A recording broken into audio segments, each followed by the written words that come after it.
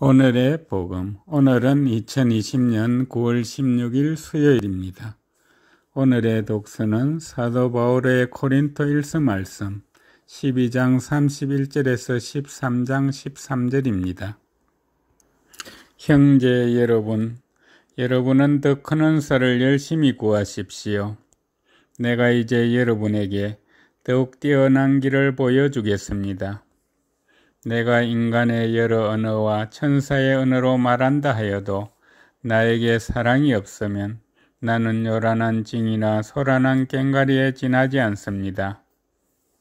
내가 예언하는 능력이 있고 모든 신비와 모든 지식을 깨닫고 산을 옮길 수 있는 큰 믿음이 있다 하여도 나에게 사랑이 없으면 나는 아무것도 아닙니다. 내가 모든 재산을 나누어 주고 내 몸까지 자랑스레 넘겨준다 하여도 나에게 사랑이 없으면 나에게는 아무 소용이 없습니다. 사랑은 참고 기다립니다. 사랑은 친절합니다. 사랑은 시기하지 않고 뽐내지 않으며 교만하지 않습니다. 사랑은 무례하지 않고 자기 이익을 추구하지 않으며 성을 내지 않고 앙심을 품지 않습니다. 사랑은 불의에 기뻐하지 않고 진실을 두고 함께 기뻐합니다. 사랑은 모든 것을 덮어주고 모든 것을 믿으며 모든 것을 바라고 모든 것을 견디어냅니다. 사랑은 언제까지나 쓰러지지 않습니다. 예언도 없어지고 신령한 언어도 거치고 지식도 없어집니다. 우리는 부분적으로 알고 부분적으로 예언합니다. 그러나 온전한 것이 오면 부분적인 것은 없어집니다. 내가 아이였을 때는 아이처럼 말하고 아이처럼 생각하고 아이처럼 헤아렸습니다. 그러나 어른이 되어서는 아이적의 것들을 그만두었습니다. 우리가 지금은 거울에 비친 모습처럼 어렴풋이 보지만 그때는 얼굴과 얼굴을 마주 볼 것입니다. 내가 지금은 부분적으로 알지만 그때는 하느님께서 나를 온전히 아시듯 나도 온전히 알게 될 것입니다. 그러므로 이제 믿음과 희망과 사랑 이 세 가지는 계속됩니다. 그 가운데서 어떤 사랑입니다. 주님의 말씀입니다. 오늘의 복음은 루카가 전한 거룩한 복음 7장 31절에서 35절입니다. 그때 주님께서 말씀하셨다. 이 세대 사람들을 무엇에 비기랴? 그들은 무엇과 같은가? 장태에 앉아 서로 부르며 이렇게 말하는 아이들과 같다. 우리가 피리를 불어주어도 너희는 춤추지 않고 우리가 곡을 하여도 너희는 울지 않았다. 사실 세례자 요한이 와서 빵을 먹기도 않고 포도주를 마시지도 않자 저자는 마귀가 들렸다 하고 너희는 말한다. 그런데 사람의 아들이 와서 먹고 마시자 보라 저자는 먹보요 술꾼이며 세리와 죄인들의 친구다 하고 너희는 말한다. 그러나 지혜가 옳다는 것을 지혜의 모든 자녀가 드러냈다. 주님의 말씀입니다. 오늘의 묵상은 박병규 요한보스코 신부님께서 해주십니다.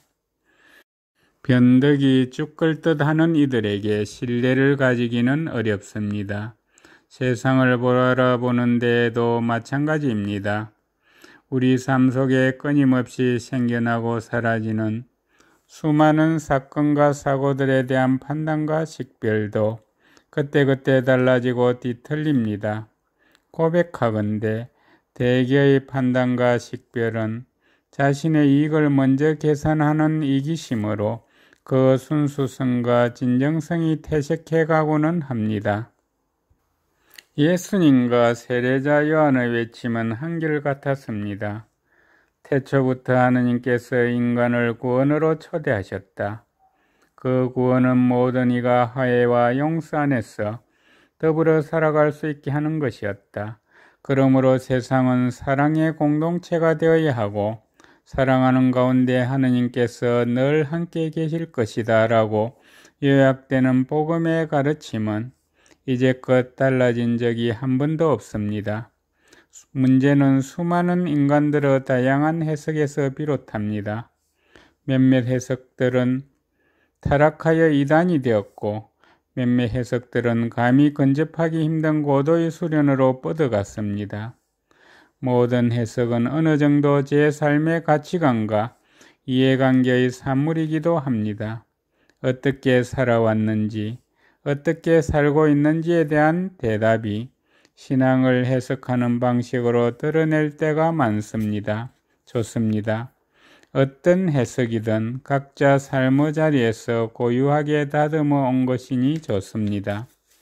그러나 한 가지 기억할 것은 자신의 고유한 관점에 대한 단단한 신뢰와 사랑입니다.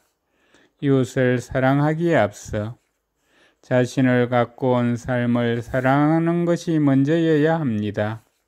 저 자신을 믿지 못하는 이들은 세상의 흐름에 물결치듯 흔들리며 기회주의자로 전락하고 맙니다. 이해할 것은 이해하고 아니요 할 것은 아니요 하는 단순함이 필요한 것이지요. 힘의 논리와 경제 논리 앞에 자기 삶의 가치관마저 포기하는 비굴함이 세상살이의 당연한 이치로 변질되고 신앙을 지키는 것이 교조주의적 계명 몇 가지를 실천하는 것으로 축소된 오늘 우리는 우리 자신에 대한 믿음과 사랑부터 회복해야 할 슬픈 시간을 살고 있는지 모를 일입니다.